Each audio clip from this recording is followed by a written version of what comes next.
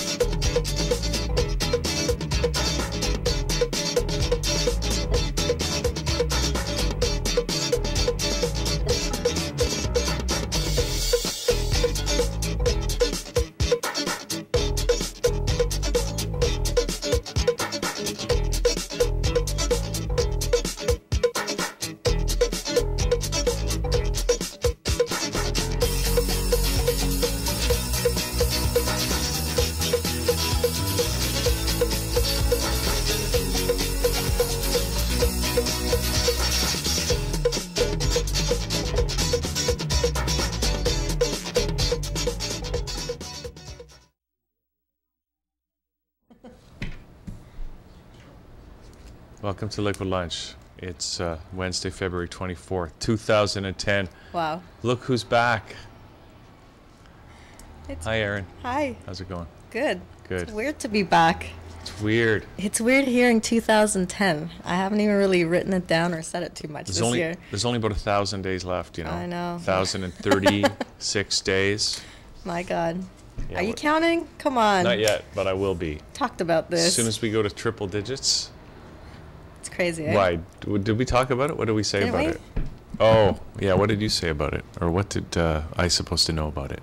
Nothing. There's nothing to know.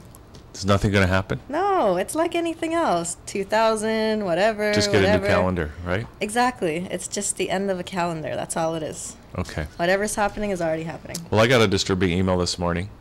it's about. Was someone else counting down too? What's your story? oh, somebody sent me this uh, email about uh, apparently some uh, a secret Freemason meeting in London are planning World War Three. Oh dear. Yeah. I don't know. Those guys are interesting. I told you I met a whole bunch of them last year. There was a conference here, but I think they what were. of Masons? yeah, Yeah. They have a conference every year, and um, they're interesting guys. They build churches and do all these great charity things, and Yeah, you yeah. know, Of course. But, it's just a front exactly. so that they can plan World War. Three in secret. I don't know. I have no comments about that. I'm trying not to put my head into those things anymore. Really. Really? Yeah, because there's only so much you're ever going to know, and you can't really change anything. So it's kind of like digging for information that you can never confirm is really true. That's true. Because there's a million different. yeah, theories, you never right? know. You never know, and It's some the of the- aliens, or it's the Masons, or it's the. yeah, and the things that I've been digging into just says it's irrelevant. Focus on other stuff. So, Yeah. yeah, It's probably a sensible attitude.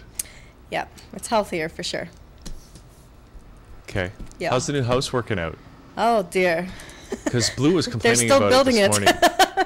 really? Well, what's the problem with it? Because it looks like such a nice little development over there. Well, it's a new development. That's pretty much it. And I've lived in new developments and own new developments, and I kind of forgot the pain about it. But uh, yeah, you know, it's those things you don't think about. And we're on the main ground, so you know, you got workers in your window all day, and just our door doesn't close, and Uh, you get locked in and locked out, things like that.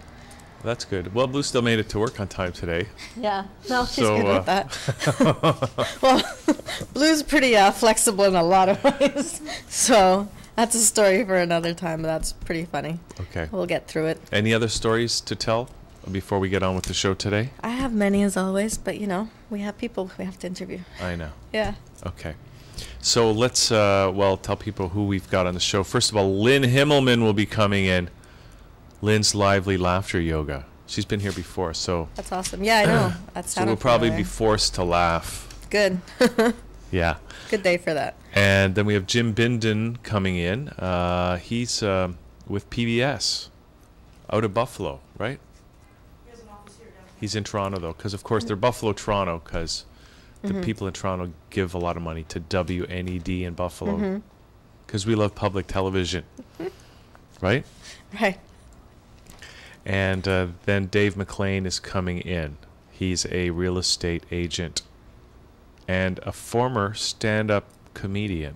Lots of laughs today. So those things might go together, real Yeah. estate and stand-up comedy. As your experience, Erin, It's, real estate's pretty freaking funny. you yeah. probably got some great material you can give him. But sure. uh, but we're gonna start the show off uh, with tomorrow's glory.